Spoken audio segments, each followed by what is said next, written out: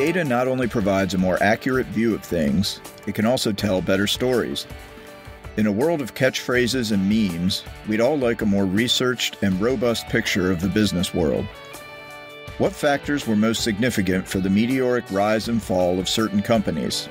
And was their trajectory truly meteoric? How true are the organizational narratives we've all been conditioned to believe?